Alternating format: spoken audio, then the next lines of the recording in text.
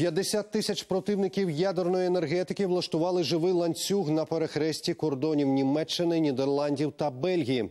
Протягнувся ланцюг на 90 кілометрів. Активісти вимагають припинити роботу атомних реакторів Тіанж 2 та Дул 3 у Бельгії. Обидва реактори через мікротріщини закривали вже двічі. Та 2015 року після тестувань експерти запевнили, вони безпечні для довкілля, тому знову можуть працювати.